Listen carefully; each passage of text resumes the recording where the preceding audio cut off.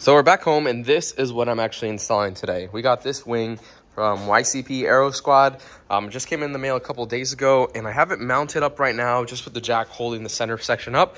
And you can see just some masking tape holding it. This is not duct tape. This is just regular masking tape in black.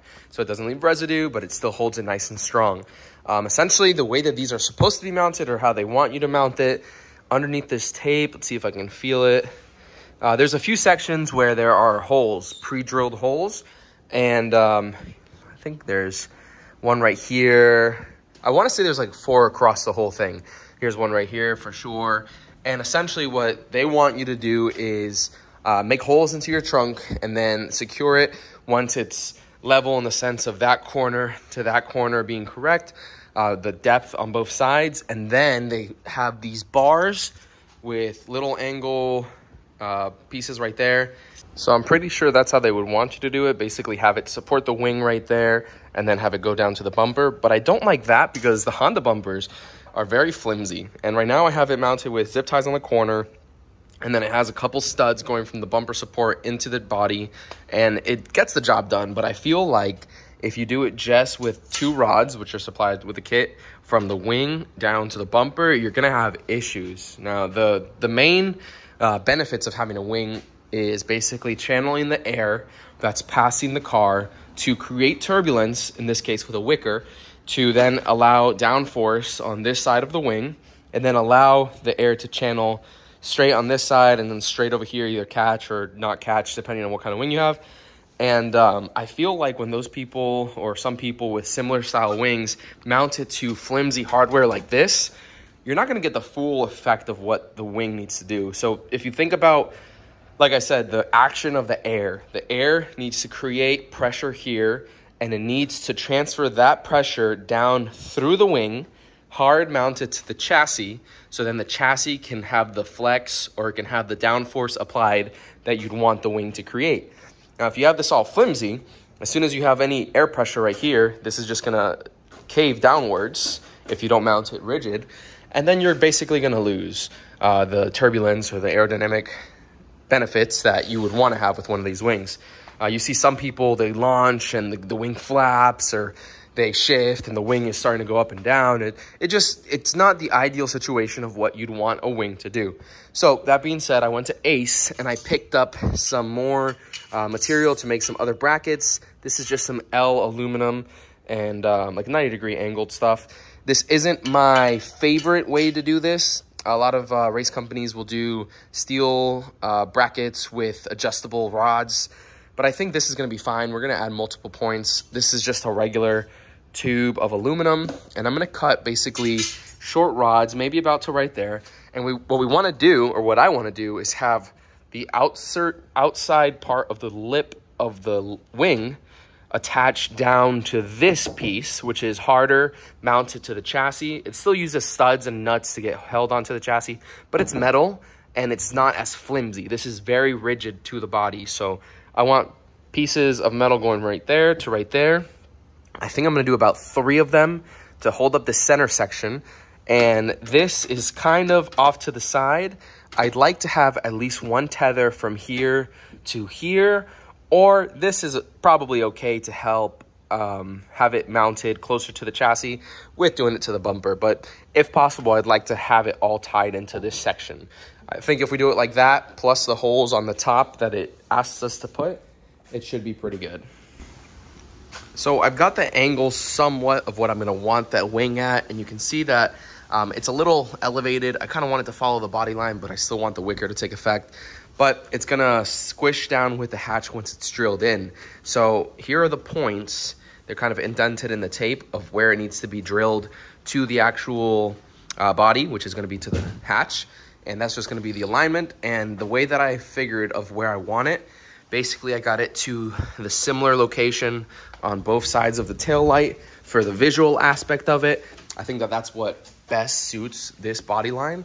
And then I used measurements from this end of the wing to the anchor points on the hatch this end on this side to that anchor point right there and they're within about an eighth of an inch now i'm to do the center pilot points and then once i have that bolted in i can take the tape off keep it on the jack and then do some quick measurements to make sure that it's all still good. But yeah, essentially what we're gonna do is basically bolt this top section of the wing to the hatch, and then the hatch is going to support the main side, the main weight of it, and then we can go to actually mounting it up with the rods.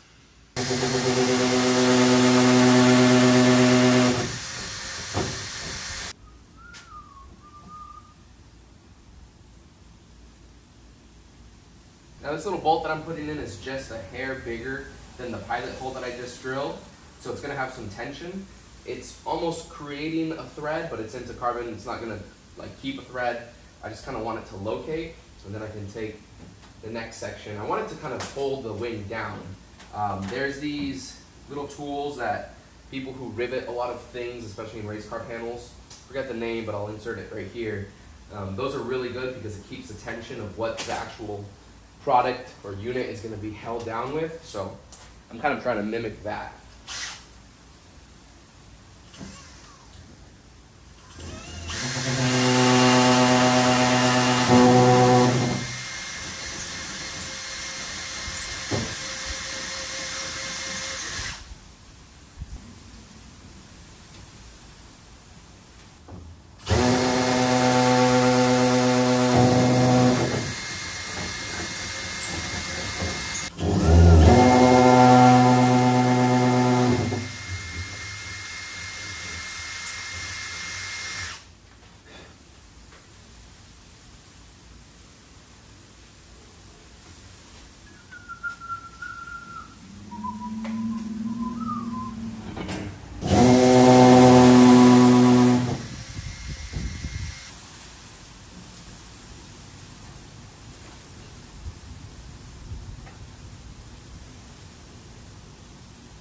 that's not too shabby. So we have one, two, three, four, and five bolts securing the top flap of the wing.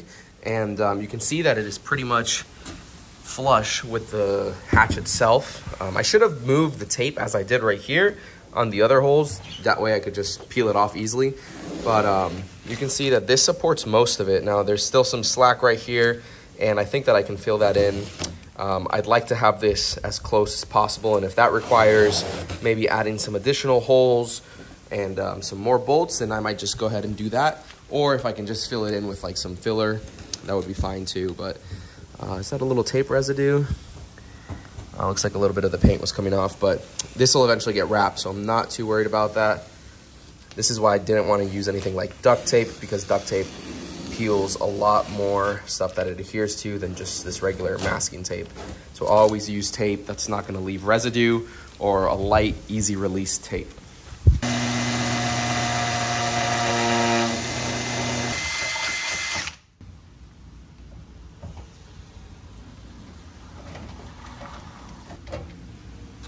So here we are fully supported by those two rods and they are very sturdy on the corners but the center still has a little bit of deflection.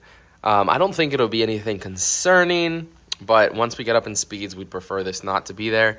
So I'm to use some of that rod that I picked up over there, as well as that angled aluminum bracket, and I'm to make a center bracket, so that should tie it in really well. Um, as for the side pieces, I just mocked this one back up right there. I'm tripping over stuff, obviously, and I think this is to look really good. I only have two of the bolts kind of just uh, finger tight right there, but once that's tightened down, I think it's going to look really nice. Um, I'm debating whether I need to make support rods from the side pieces to the inside, but we'll figure that out once we uh, actually get to that section of it. As for how this tied in, this was really good. Just two bolts right there. And I don't know what's going on with my autofocus, but there we go. Two bolts right there goes through the top and then two bolts right here. And I actually added rivnuts to this piece right there and um, it makes it really structurally strong. So there's no movement right there, like I said. And uh, eventually what I want to do, I want to get rid of this rod and do a Heim jointed rod, preferably something steel. That way, if we want to add a little more angle or a little less angle, depending on what we're doing, or just for adjustability and easy removal, then we can do that. The aluminum is going to hold up okay, but it's not the end goal. It's not going to be what's going to be the preference there. So this is fine for now. I'll go ahead and start working on a center brace and then I can finish installing the side pieces. Yeah, so that's it for the install. Um, I guess other loud cars in the neighborhood. Anyways, yeah, that's it for the install, guys. I added the secondary rod right here. Uh, there was still a little bit of flex like we looked at earlier, and this really made it a lot more rigid. And you can see, I don't know if the camera will pick it up, but you can shake the whole car off this wing. So this is exactly what we needed, something nice, rigidity, um, wise as well as quality wise and we're really happy with this now there's something else that i need to do i want to end up making a bracket from somewhere in the center section you heard that right Damn, loud cars. I want to do something from the center section tethered either into this rod or also on this section right here just to add a little bit of the strength. On this side especially, um, it has a little bit more play than I'd like. And this at high speeds, it can kind of create an air pocket down there. Although it's not a lot, just for peace of mind, I want to have this tug tugged onto the body a little bit more. Um, all in all, I'm pretty happy with this, and I can't wait to make it to the track and see if we feel any stability differences. Now, ideally, I'd love to have shock travel sensors and other sensors to be able to dial in with and without the wing to see what actual difference the suspension is feeling, but that's a lot more advanced, and I don't have those type of sensors. Um, but yeah, it'd be goal one day in the future to do something like that and really be able to dial in stuff like this aero-wise. But yeah, guys, that sums up the video for today. We were going to go to the track tomorrow, but unfortunately, with the hurricane and whatnot, it laid down a lot of water. Now, we got lucky. We're in Sanford. There wasn't a lot of damage here, almost no tree damage, just a lot of wind and rain last night. But uh, the track is going to be saturated with a lot of water, and we won't be able to make it out there. So hopefully soon we'll be out at the track testing stuff out, having fun, and running new numbers. I'd like to do some stuff uh, to dial in maybe a class for FL2K and it'd be really cool if we can go out and compete. Thanks for watching, guys, and we'll see you on the next one. Bye.